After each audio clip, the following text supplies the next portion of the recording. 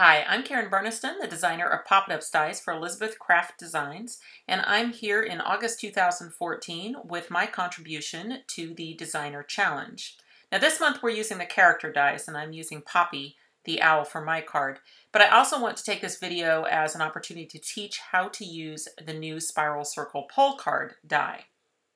So before we get into my card, let's talk about the basics for using this die. Now, when it comes, it's still all going to be connected together with little connection threads, and you're going to snip those threads to remove the individual dies, like I did for that heart there. What did I use? The Elizabeth Craft Designs die snips and the die file set to file down any sharp nubs. And they're going to be left with all those individual dies. Now, when you're deciding what size paper to start with, you always do the height of the paper to your desired card height. So if I'm making an A2, I'm going to go ahead and cut my strip of paper to five and a half inches tall.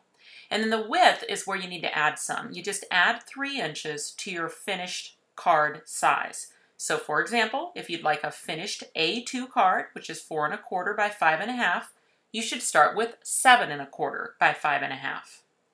You need to create a center fold so that you have something to align to. And then there are little alignment nubs on the top and bottom of the spiral circle pull card die, and you'll use those right over the fold of the card. Now, if you're using a pattern paper that has a direction to it, like say some words, just make sure that the circle is aligned on the left side of the card's interior. Now, after die cutting, you're just going to fold that right back in half again. And how easy is this? Just back fold right around the circle. And it does have a little score line in there that's been made by the die. Another fun feature of the Spiral Circle pull card is that it always cuts these little closures into it, these little tuck slots that will go right over the edge of your card to keep it closed. And that way you don't get an accidental reveal. When you want to open it, you still just pull. It'll disengage the tuck slots and the card will open. You can always change your card size. That's the beauty of this die. So here's one that I wanted to finish up at 6 by 6 So I started with a 9 by 6 card. Went through the same exact procedure, lined the die up over the center fold, fold back in the center, back fold against the circle. It still has those little tuck slots to keep it closed. And you might notice that I actually slid the die up the fold a little bit, so it's not exactly in the center, and that is also your choice. Now without the spiral, it's just a standard flip card, and you could either cut that spiral in at the same time when I was cutting the card, or I can use the circle die that comes with the set to nest together with the spiral to cut it as a separate piece. And then after doing that, I just want to make sure that my glue is only on the outer circle that surrounds the spiral. That way the spiral can still engage and pop up and pop down inside the card. So I'll just use a little glue around the perimeter, glue that right inside the card. And then as far as attaching the other end of the spiral, it's so simple. Just add a little miniature glue dot right in the center of the spiral and then just simply close the card against the spiral. It really is just that easy. Now anything that gets attached to that spiral is going to now pop up in the air as the card is opened. And because of those little tuck slots, you don't get an accidental reveal. Nobody knows that there's a pop-up inside there until you pull it open. Here's a decorated sample. It's actually the one on the packaging, a finished A2 card where there are all the little balloons flying on the spiral.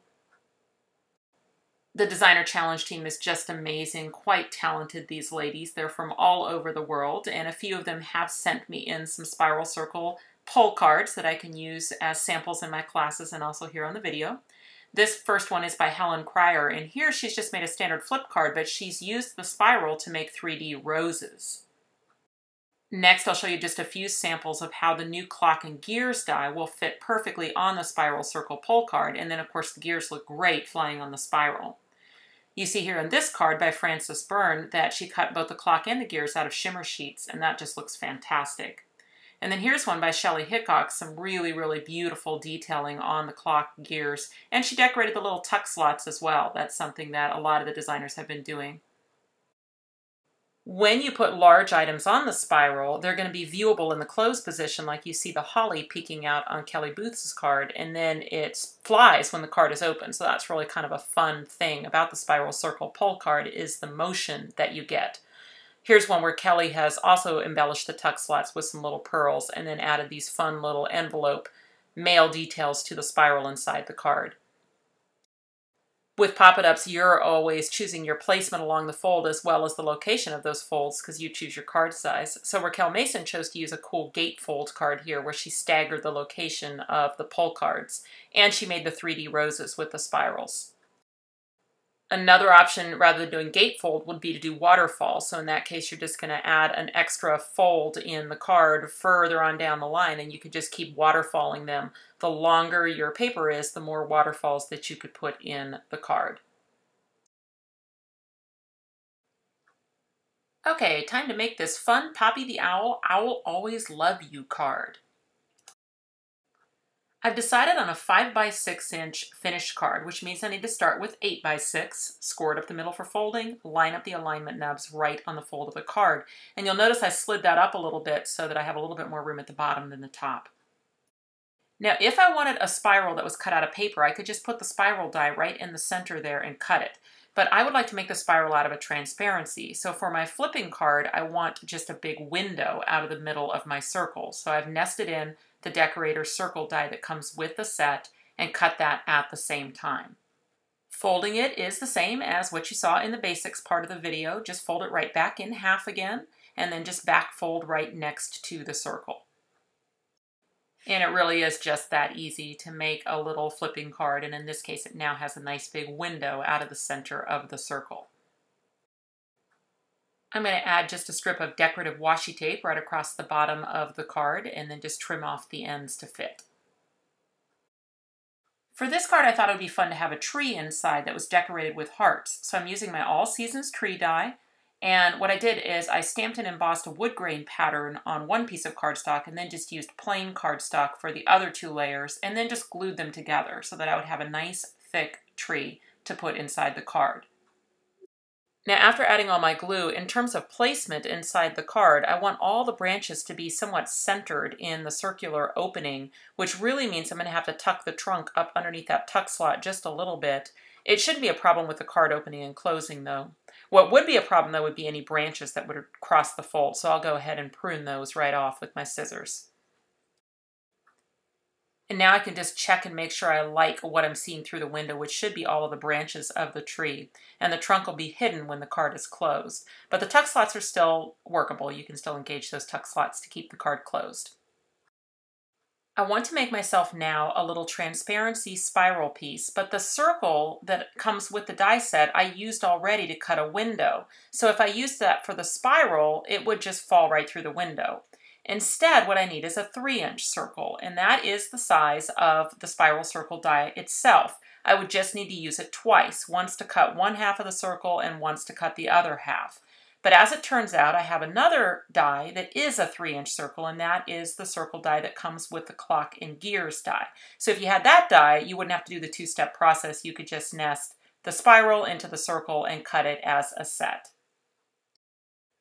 I'm sure that glue would work with the transparency, but I'm a little bit impatient and I don't like to sit there and wait for glue to dry against that slick plastic. So instead I'm going to use a dry adhesive, in this case just some small glue dots, and I'm just picking them up and putting them around the perimeter of that circle so that then I can put the transparency on, it sticks right away.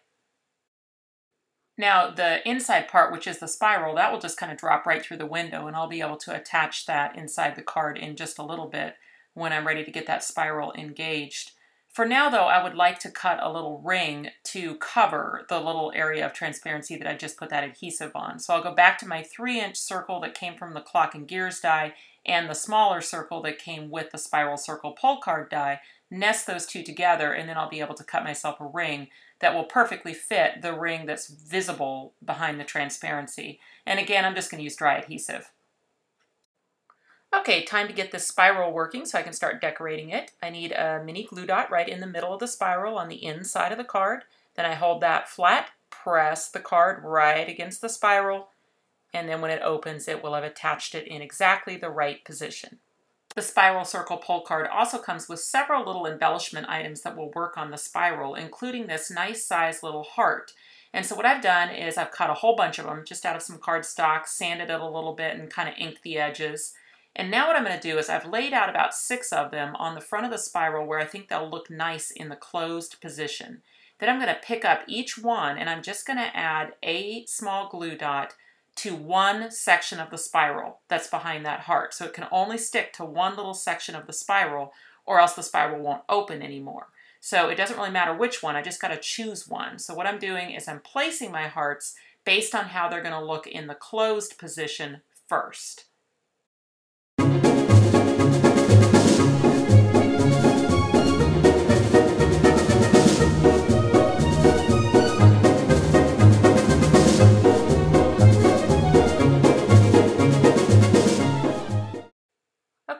Hearts laid out on the front of the spiral. They're each attached to only one section of the spiral. And then all I have to do is just open that card right up. It'll just pull that spiral open. And since each heart is only attached to one section, it'll pull the hearts through the spiral into the right position. Now I'll take another six hearts and put them through my little Xyron X sticker maker to quickly make them into little sticker hearts and I can attach one of those little sticker hearts now to the back side of each one of the hearts that are on my spiral. That will basically sandwich that heart around the spiral so that it looks good in both positions, even if it flips over when the card is open. I really wanted to give an illusion of like an explosion of hearts in this card, and so the way I did that is I added a second set of hearts flat against the tree, glued to the inside of the card, but lined up with the hearts that are on the spiral. So in the closed position, you really only see those six hearts. But then when you open it, of course, each one seems to have multiplied. And then for further embellishment, I just added some of the small hearts randomly to a few of the hearts using the one from the Poppy the Owl die set. Okay, the character die that I'm using is Poppy the Owl, and you can see it here. I've assembled it using all the pieces that come with it. And I also added a second little set of feet to the back. And that way, when I sandwich my second poppy on the back, the feet will line up. What I'm using for the eyeglasses are the Props 1 die set. That's where the eyeglasses came from. And the only other thing I did is I left one of the wings on each owl up. I didn't glue it down to the shadow layer so that I'd be able to tuck in those little pencils later on. Okay, if I engage at least one of my tuck slots, that'll hold that card closed enough where I can really check my positioning on my first owl. And I want it over here somewhere where I can attach it actually to the circle so that it will lift up and open when the card is open. And I'm only going to use a little glue along that red ring circle. That's all I want to do to attach this poppy. And the reason I can use just such a little bit of adhesive is I'm just trying to hold it in place for now until I can open it up and then I'll be able to sandwich the other poppy on the backside. And for that one, I'll be able to use glue not only in the little ring area, but then all over the back of Poppy. So that will be nicely sandwiched together and shouldn't really move once I get those two in place.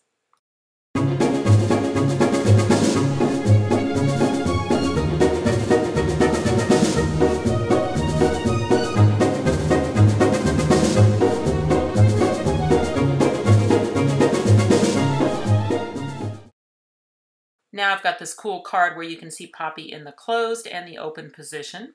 Then what I'm going to do is I'm going to put my greeting in the card. Now what I did is I found this stamp, I'll always love you. I just thought it was great for this card. But what I want to do is I want to have Poppy obscuring that greeting until the card is open. So the way I'm going to do that is I'm going to place it sticky side up right on the top of the owl and then close the card against it. And that way it'll transfer it over to the other side of the card, but I know that Poppy will cover that when the card is closed. And the last little bit of decoration I did was just to use some of these pencils that were part of the pattern paper. I just fussy cut them out.